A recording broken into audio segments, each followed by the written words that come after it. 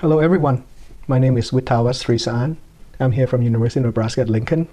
I will be giving a talk on SEMEO, a semantic equivalence analysis framework for obfuscated Android applications. Statista has reported that there were 26.6 million malware samples that were uncovered in 2018. In 2019, the number have gone down, but it's still significant. There were 10.5 million malware that were uncovered a year later. They also reported that on average, there are 482,000 new malware that have been created per month. And majority of these malware samples are done using a technique called repackage. So the idea of repackaging is that what attackers do is injecting malicious components into an original benign app and in effect make that app malicious. So from a security analyst point of view, if one of the apps produced by your software company is repackaged into malware, it is critical for the company to find ways to detect those malicious behaviors and develop techniques to neutralize them. This requires analysis, and typically as a first step, the analysts need to obtain the repackaged version of the app and then identify which component in that software has been modified. To, to identify these injection points, there are several scenarios that an analyst may encounter. For example, it is possible that the repackaged app would have the code out in the open. That means the component that the components that have been modified can be easily identified. And in this case, it's quite easy to find the modified code and then focus the analysis effort on them. On the other hand, it is possible that the attacker may try to hide some of this uh, malicious code that has been injected. And one technique that they can do is they can obfuscate it, the code that they inject into the app. Now, one scenario would be that they simply obfuscate the component that has been modified. And in this case, the idea is to hide what they did. But it's still quite easy to find which components have been modified.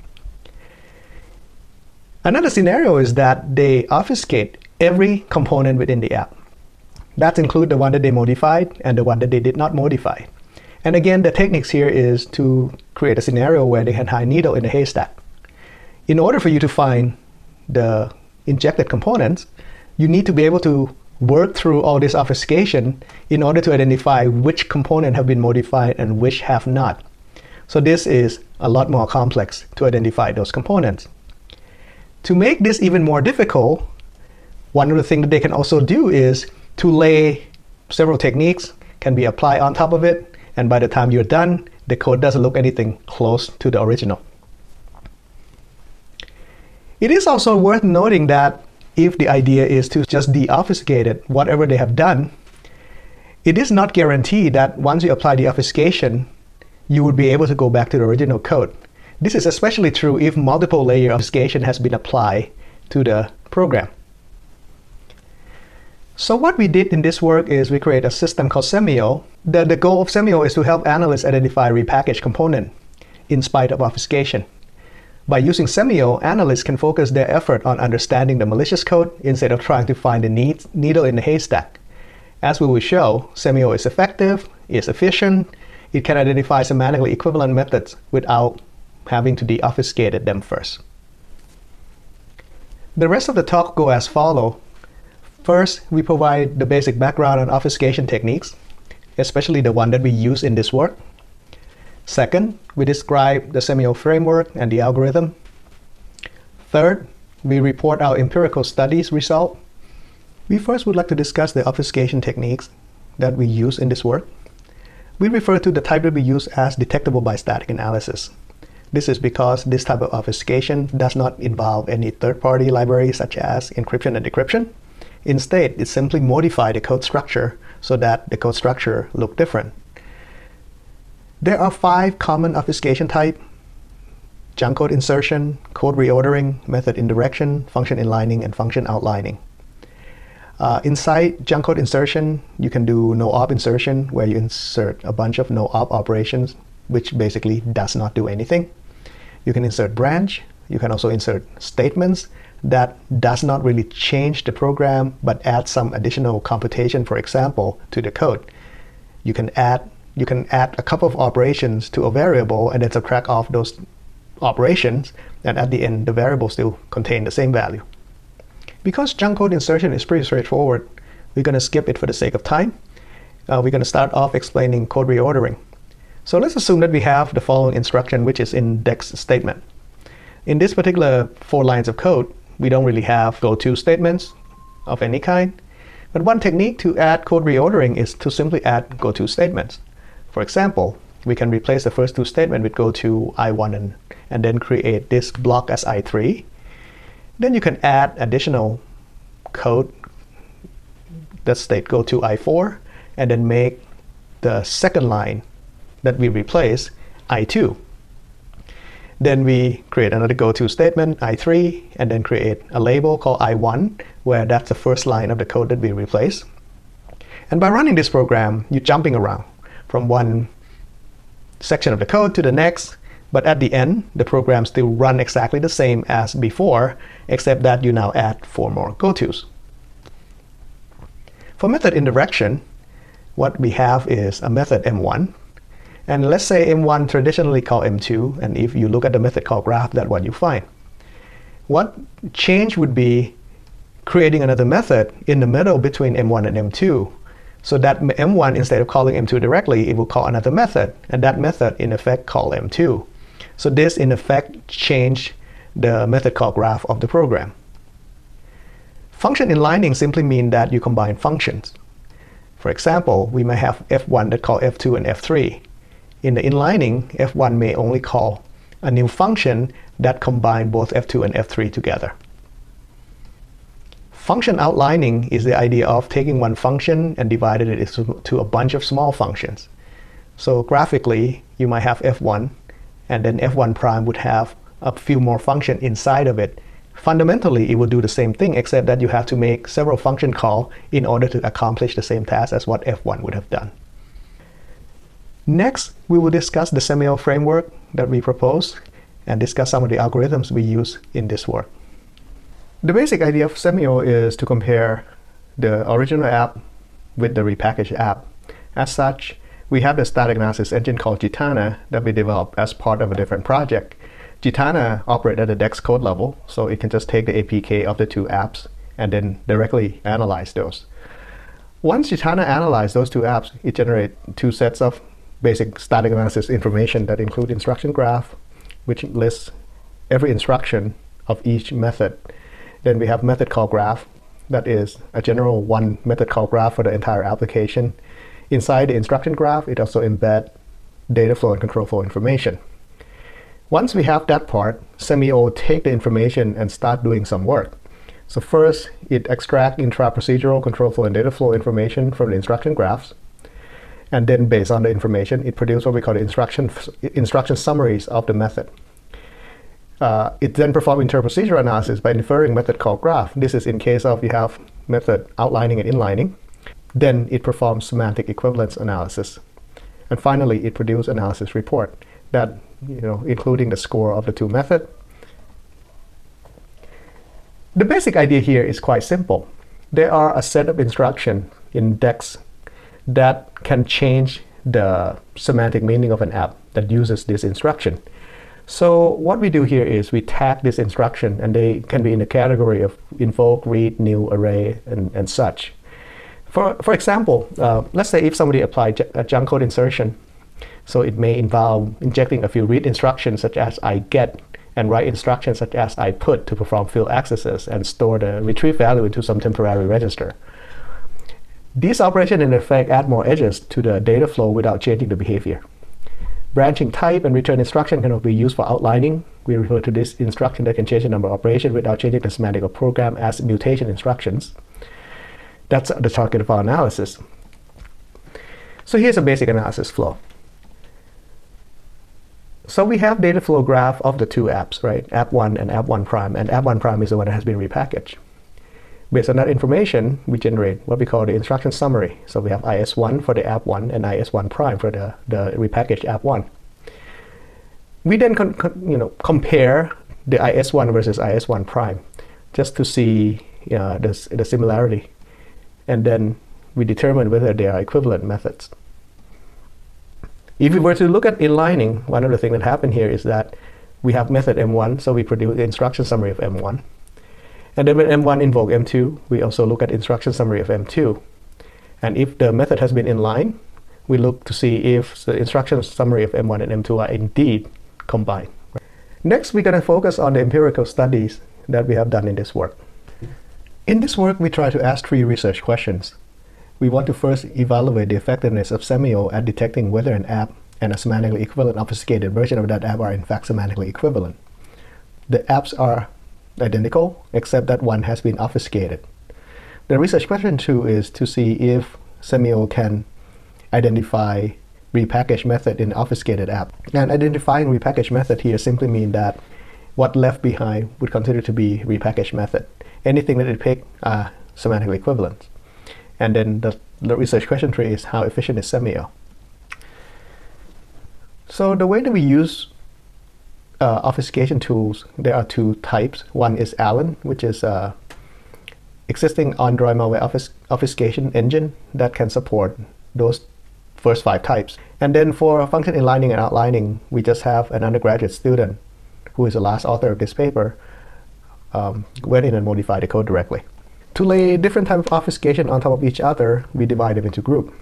For example, in the group G1, we just have um, applying T1, applying T2, applying T3, applying T4, applying T5 separately. And that would mean the one done by Allen. For G2, what we do is we apply T1 and T2, and then T2 on 3, T, 3 So in this case, each artifact that has been obfuscated will have two layer of obfuscation. And then G3 has 3, G4 has 4, G5 has 5, and we try every combination. For the inlining and outlining, we have three groups. One group that just have inlining, one group that just have outlining, and one group that has both inlining and outlining. Again, the last three groups are manually manipulated. Here's in terms of the app, we have app as small as 21 method all the way to app that has over 7,000 method. The number of line of code include, and this is line of DEX code, 139 lines all the way to 37,486 uh, lines. In terms of the number of inline and outline method for these apps we list here, uh, for example, if we look at TextSecure, we end up going into the code and, and create 10 additional method that has been inline. Uh, we also did 10 additional method that has been outline. And then for G8, we just take some of those and combine them, both inline and outline. In terms of metrics, uh, I need to define what we mean here by recall and precision. So let's assume, you know, hypothetically that we have 100 methods in an app. And then we have non-equivalent modify method of 10. Semantically equivalent method detected by SEMEO is 80. Right? So what we have here in terms of recall is that we are able to recall 80 out of the 90. Right? We have 90 that are semantically equivalent because we have 10 that are no longer semantically equivalent. So that's 90. And we can recall 80 of them. So the recall percentage is 88 point, roughly 0.9%. In terms of precision, let's assume that all the one that we pick as, are semantically equivalent, all 80 of them. In this case, 80 out of 80 would mean 100% precision. Now, let's assume that there's another scenario where we have 100 method and there are 10 non-equivalent modify method. But at this time, inside the 80 method that SEMEO identifies equivalent, one of them happened to be wrong, right? So one of them happened to be, they are actually non-equivalent method, but SEMEO mistakenly identified that as equivalent. So in this case, the precision dropped because 79 of the 80 is right, but the last one is wrong. So that's 99% precision. Note here though that in our evaluation, we achieve 100% precision for SEMEO, but the recall value do vary. That means that we can get high recall in some apps and some somewhat low recall in some other apps. So let's look at RQ1. So we, we obfuscate 100% of the app, which means that every method get obfuscated. So for G1 and G5, what we all what we did is we just send the original app through Allen and we configure it to do uh, group one, which is one type at a time. Group two is two type on top of each other. Group three is three types on top of each other, so on and so forth. Then we have G6 and G8 where we have the original app that our undergraduate student go through and then apply inlining and outlining. Now let's look at the result from RQ1. Uh, in this case, what we are looking for here is the recall values that have been uh, produced by our system. Notice that this is represented as um, a graph that have multiple values. For example, in this in this uh, for this bar, basically represent the group one. So there are five run for each app. Each run contain one type of obfuscation. Then for this bar, we have group two, where each has two layer of obfuscation, and we go through the whole permutation. So there's several apps that has been created and run. This is you know, the third bar is for uh, for the three layer, and the fourth bar for the four layer, and the fifth bar for the fifth layer. So anyway, uh, what we have here is in terms of the best performance, A2 with the group one perform best. It's sitting at nearly nearly 100% recall. And for the worst performance is in A5 where it's sitting around 77% recall. For G6 and G8, we notice here that our average recall range from 94.26% for G6 and 91.43% for G8. We have two cases where we have 100% recall in F4 and F7. For the lowest recall, we have App2 with G8 that yield about 80%. For RQ2, what we're doing here is for G1 to G5, we take the original app and modified it and then send that app to Allen where we can do group 1 to group 5 obfuscation. For G6 and G8, we take the original app and then have our grad undergraduate student modified it and then he also add the outline, the inlining. The number of modify methods range from 2 to 243 across the 9 apps that we use. So here's the recall value. Notice that A2 used to be doing quite well when it's just uh, testing the obfuscation without any kind of modification to the method.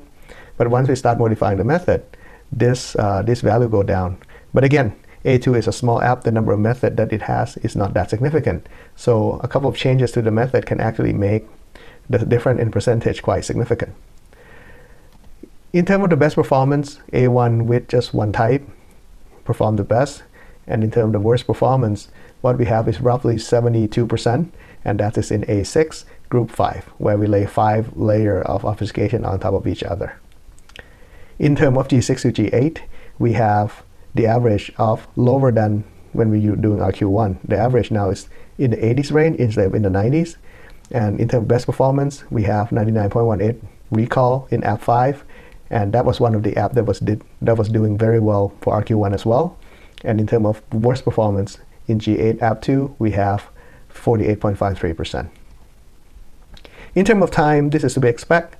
The smaller number of method, the faster it is to analyze.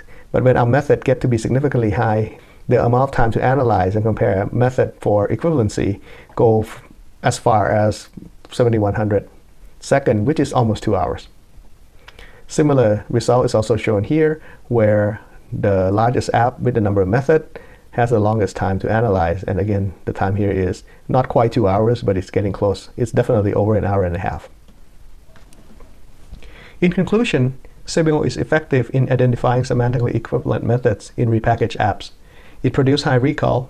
It also has high precision. In our experiment, we, we were able to achieve 100% precision in every app. It helps analysts to focus on malicious component instead of spending time to track them down. SEMEO outperforms another state-of-the-art obfuscation resilient repackaged app detector called FSquaDRA. SEMEO can also be used on large real-world apps. In our paper, we have shown that we can use SEMEO to detect semantically equivalent method in apps that has been obfuscated by ProGuard, a commonly used obfuscation tool in Android environment. We also have used SEMEO to identify the code location where Pokemon Go was repackaged into malware. I'm now ready to take any questions. Again, thank you for being here.